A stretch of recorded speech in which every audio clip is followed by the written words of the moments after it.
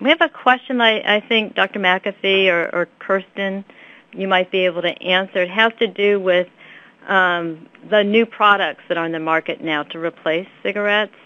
It, the question is, are youth and adults switching to new, emerging, or much less expensive non-cigarette tobacco products?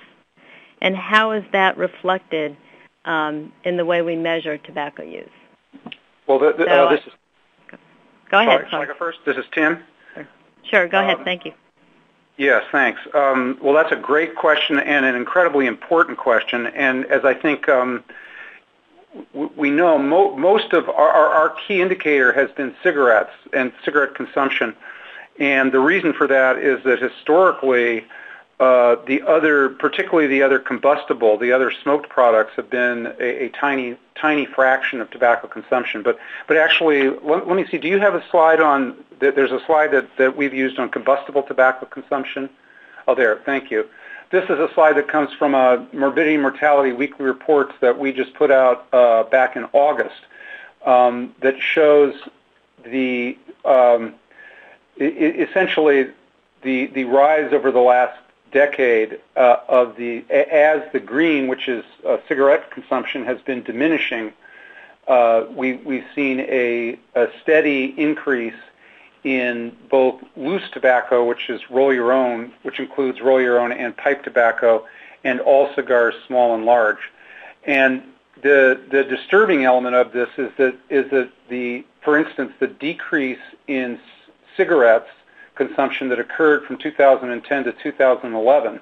The the green got smaller between 2010 and 2011, but the total the the height of of that entire curve is is completely flatlined between 2010 and 2011 so that the progress that we made in decreasing cigarettes was made up uh, negatively by the increase in loose tobacco and cigar smoking. And, and there are two things that have we think have contributed to that increase. Well, at least two. Um, one is that there was favorable tax status towards uh, pipe, loose, loose pipe tobacco and cigars, and the other one is is that um, they are excluded that that cigars are excluded from regulatory authority from the tobacco, the FDA tobacco uh, regulatory authority. So that, uh, for instance, we now see that in, in in adolescence, a majority of the cigars that are being smoked are smoked are, are flavored cigars, which are banned um, in in cigarettes. So this is a, a great question, one where we do need to spend more um, uh, attention to the not not allow essentially the tobacco industry to to simply shift people between different uh, combustible tobacco products because the the harm is uh, likely to be quite similar between between these. Thank you. Um, and Dr. Koh, we have a, a question for you. Um, what is HHS doing to promote smoke-free campuses and universities? Well, we're very excited about uh, this initiative, and very similar to what we're seeing in Oregon through this wonderful um, presentation that Ms. Aird just gave you. We, we want to celebrate local leadership and local champions, pe- people who are establishing their environments as either smoke-free or tobacco-free. So in this particular case, uh, we have created and launched a tobacco-free college campus initiative where we encourage college and university leaders to make their campuses either smoke-free or tobacco-free. Right now, uh, only about 17% of colleges and universities nationwide have that policy, but the numbers are growing by the day. So in our department, we have attended a number of events. Uh, we had one major one in, at the University of Michigan this past fall, where, where we thank leaders and recognize the leaders for making uh, this culture change and sending a message of health to the students on these campuses. So we encourage other colleagues on this call to be, involved in that work to either make their campuses smoke-free or tobacco-free or recognize leaders who are doing so. Thank you very much. And I also um, am happy to say that we have another colleague from CDC in the room with us, Simon McNabb, who works with Dr. McAfee, and he has something to add. So, uh, just this: um, if you want specific information on how to get involved in making your campus smoke-free, um, the initiative that Dr. Koh spoke about has a website, and it's sph dot umich so u m i c h dot edu slash tfcci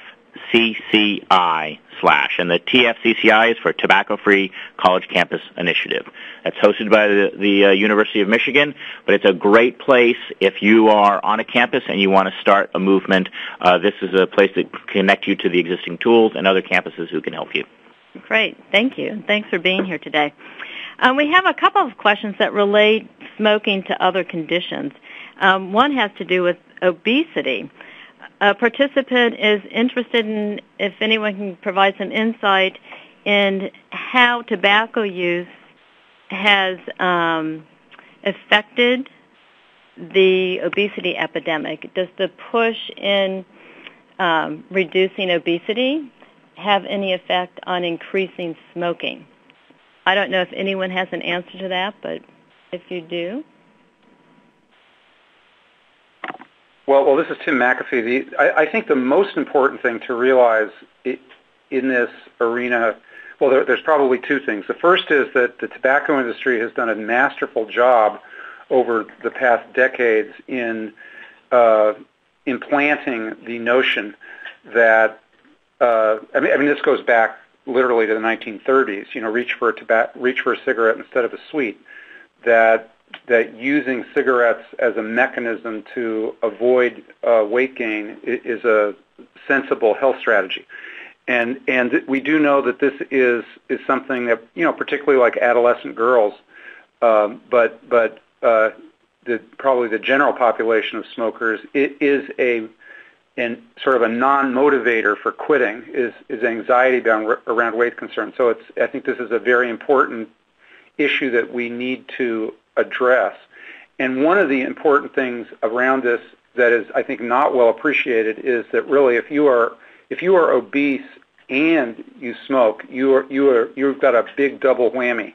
That the risks for uh, your your risk for disease and death uh, markedly increases. So, doing better education around the idea that uh, smoking is not an effective um, either weight reduction or weight maintenance strategy is incredibly important. I, I don't think we have completely teased apart the issue of whether there's some.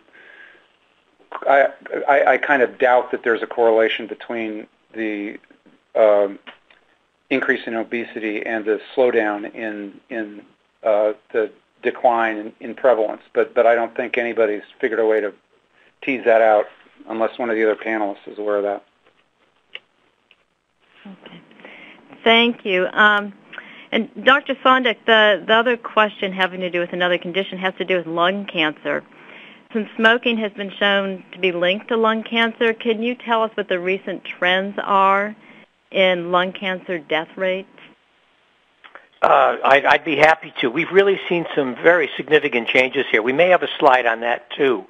Um, in about 1990, the death rate uh, for men uh, after having increased for the entire uh, uh, century uh, turned around and has been headed downhill ever since. Uh, really a tremendous progress there. Um, and in women, the rate continued to rise up to around 2003, and now the death rate for that is also falling. So these efforts that have been underway now for decades, uh, the impact on health is really paying off uh, tremendously. This is the leading cause of uh, of cancer deaths, and uh, uh, they're both from in males and females are are going down.